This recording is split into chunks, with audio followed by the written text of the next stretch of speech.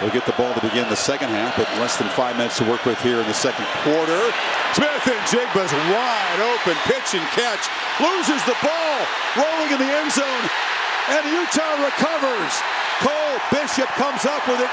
Smith-Njigba was headed for the end Yeah. zone. Clark Phillips caught up to him.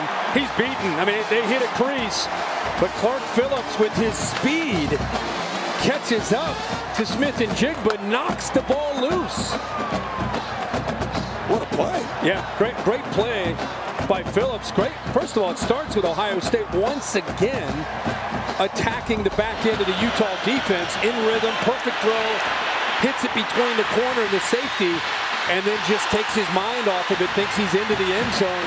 But a hustling Clark Phillips has great effort and just takes a swing at that football in a last-ditch effort and knocks it loose. potentially enormous play. We've seen a shootout develop. Look for sure like it was going to be, you know, sixth touchdown in the last couple minutes, and now Utah gets the ball back. And a chance to build the lead. Beaten badly, but never give up, right? And Bishop just has a way of being in the right place at the right time.